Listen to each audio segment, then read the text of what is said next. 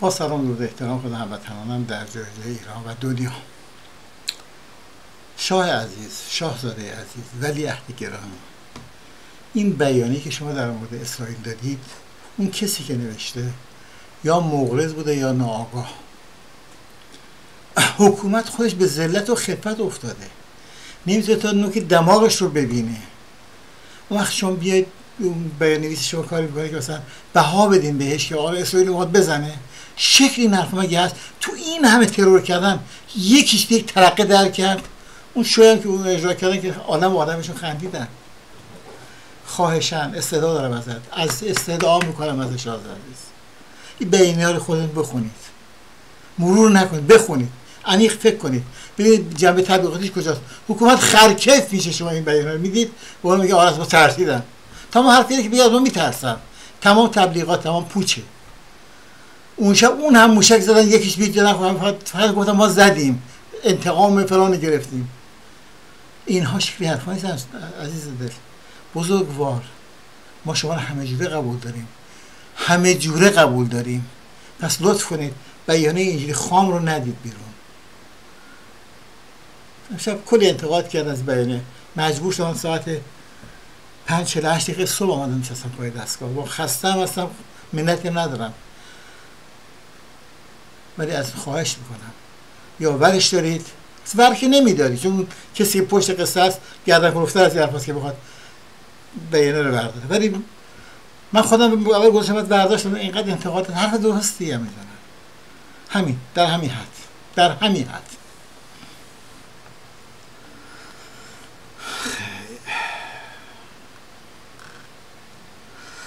خب خدمت هستم که آخرین تحولات اعتراضات مردم ونزوئلا گوش کنیم با هم دیگه مخالفان نیکولاس مادورو رئیس جمهوری ونزوئلا با متهم کردن او و طرفدارانش به تقلب گسترده در اعلام نتیجه انتخابات ریاست جمهوری خواهان انتقال قدرت رقیب دموکرات او ادموندو گونزالس شدند. چین روسیه و کوبا مادورو رو برنده انتخابات خوند اما کشورهای قاره آمریکا از ایالات متحده گرفته تا مکزیک و آرژانتین و شیلی ادموندو گونزالس رو برنده انتخابات قلمداد کردند و خواهان اعلام شفاف آرای رای دهندگان و نتیجه انتخابات با آمار ارقامی شدند. مادورو مخالفان رو به سرکوب و مجازات تهدید کرده.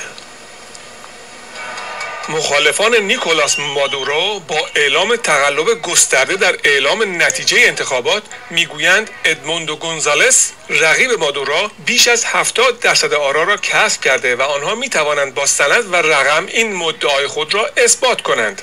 70 درصد. خیلی امروز روز خیلی مهمیه. بعد از شش روز سرکوب وحشیانه خیال می‌کنن می‌تونن صدای ما رو خفه کنن به ترسونانمون و جلومون رو بگیرن. تک تک شماهای اینجا نماینده بهترین های کشورمون هستین. نشون دهنده گستردگی قدرت و راهیه که داریم پیش می‌بریم. اما مادورو که مدعی است 52 درصد آرا را در انتخابات ریاست جمهوری به دست آورده در اجتماع طرفدارانش در کاراکاس روز شنبه مخالفان را به مجازات تهدید کرد و آنها را مجرم خواند. ما دو هزار نفر رو زندانی کردیم. مجازات حداکثری در انتظارشونه. این دفعه بخششی در کار نیست. این دفعه زندان توکورون در انتظارشونه. علاوه بر آمریکا کشورهای منطقه از جمله آرژانتین، کوستاریکا، پاناما، اوروگوئه، برزیل، شیلی، پرو، مکزیک و کلمبیا با رد ادعای پیروزی مادورو خواستار انتشار شفاف نتیجه انتخابات با آمار و ارقام شدند. جمهوری اسلامی ایران، چین، روسیه و کوبا به مادورو تبریک گفتند. خب این هم که دیگه شنیدید همینطور هم هست و شیوه حکومت جمهوری حکومت جمهوری آخوندی ماست متاسفانه. تهدید تهدید تهدید. جونتون در بیاد.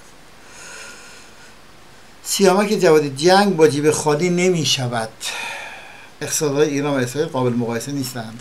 داشت کردید؟ دولت بریتانیا. خیلی ترسیدند و این نشان دهنده. همین ترس بریتانیا است و اصلا پاشگی رو اصلا دیگه رو شاخشه. روی شاخشه. دست راستی بودن سرکار با هم گوشی چقدر جالبه. دولت بریتانیا در واقع به بازار 150 نفر در جریان خشونت خیابانی ضد مهاجران در شهر مختلف کشور فردا دوشنبه جلسه استرادی کبرا برگزار می کند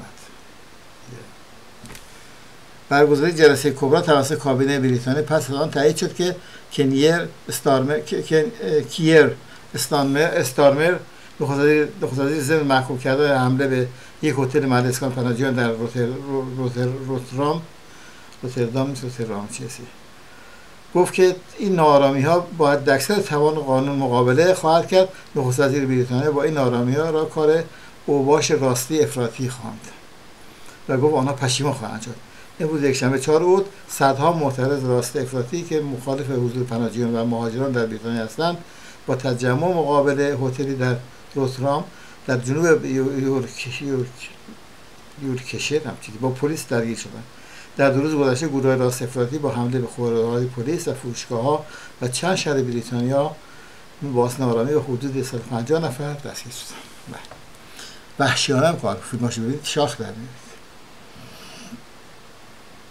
این که دوستان من میگم فرهنگ سازی فرهنگ سازی فرهنگ سازی خب خودتون می‌دونید دیگه من چی میگم. مثلا من یک یکی از زمان قاجار دیدم. یه نفرش میمرده یه خود وزمانشون خوب بوده. از ایران سوار تو تابوت میذاشتن پویتم داشت میپیشیدن میبردن تا عراق. تواف می‌دادن باز داره می خب میشه تا اون میشه مریضی میشه صد رقم مریضی دیگه. این این بحث فرهنگ سازی اینجاست. یک نمونه کوچیک دارم بهتون میگم. شایان سمیعی ضعف اطلاعاتی سپاه ناشی از فساد گسترده مالی و اداره نظام است. شک نیست. آدم و آدم اینو می‌دونن خودشون هم می‌دونن اما چنان غرقش هستن که از این نمی‌تونن رو ببینن. شده برسه. روزبه همیدان روزنامه نگار راسته فرش فروشان در بازار تهران یکی از معدود راستهای دست نخورده در بازار بازار است. اکثر راستهای بازار تهران در سال اخیر تغییر هویت دادند و دیگر, مثل گذشته فقط کالای خاصی نمیفروشند اما بازار فرش هنوز هویت خود را حفظ کرده گرچه رونق گذشته را ندارد. بنابر آمار گمرک ایران درآمد صادرات نفتی ایران در سال گذشته کمتر از چهل میلیون دلار بوده. اینم 90 درصدش خود ایرانی ها خریدن که اونجا رفتن و برای خودشون فلانچی و فلانچی فرشا اونا خودشون خریدن.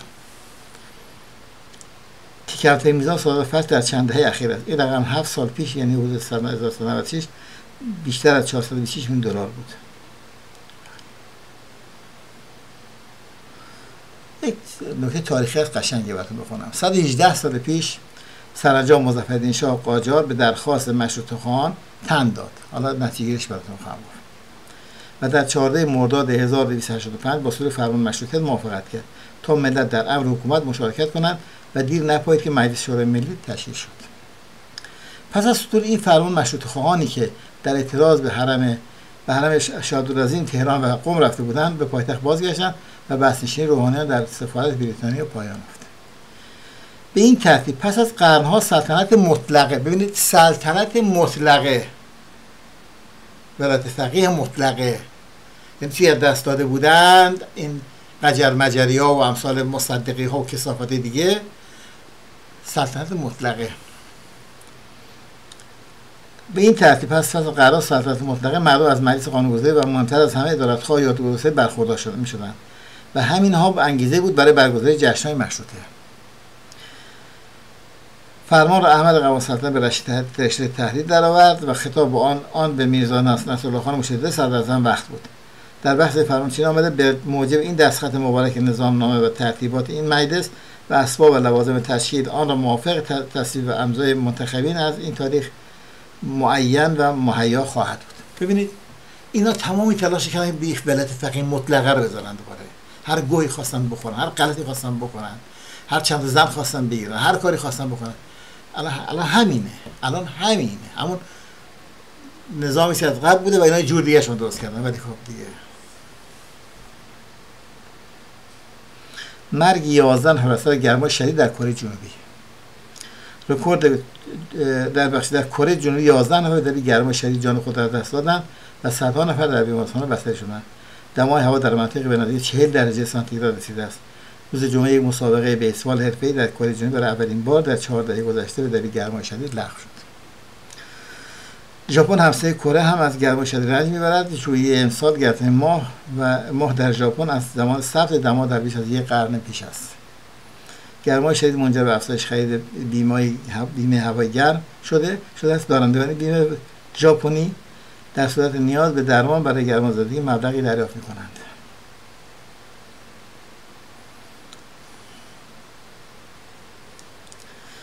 کره جنوبی می‌گوید کلوکورد صادرات کیمچی را شکسته است. یک غذای شبیه کلمه بعد سر فرصت تو بحث اقتصاد صحبت خواهم کرد. یک شاهکاریه.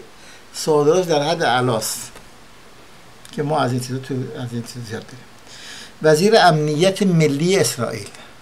وزیر امنیت ملی اسرائیل. جنگ ما فقط با ایران نیست همینجا در خیابانها خودمان است. آغاز کار نافرمانی های مدنی همه جانبه در بنگلادش. دمشون گرم. مالیات و قبض آب برق رو نمی‌دهیم. در درگیری پلیس و معترضان در بنگلادش خواستار کنارگیری شیخ حسین حسین حسین حسین حسینه به خدا حسن دستیام سه نفر کشته دار پولیس از گاز اشکاور از گروه پلاستیکی برای متفرق کردن تظاهر کنندگان در چند شهر در چندین شهر استفاده کرد و ده ها نفر نیز مجروح شدند. هزاران نفر در میدان اصلی داکا تجمع کردند در برخورد فلان.